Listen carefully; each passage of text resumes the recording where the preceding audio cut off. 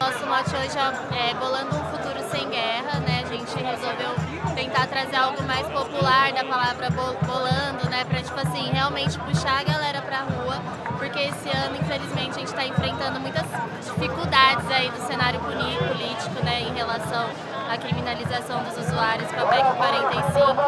Pra rua, vem, fuma maconha!